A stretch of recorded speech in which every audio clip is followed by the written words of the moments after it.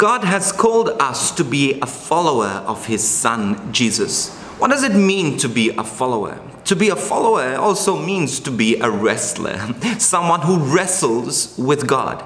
Take Jacob in the Old Testament. He wrestled with God. And if you choose to follow Jesus, that's what you are going to do. You're going to spend your life wrestling with the will of God, wrestling with the heart of God. It is so much easier just to sit back and not wrestle. So much easier just not to question and not to doubt. But this is what we're called to do.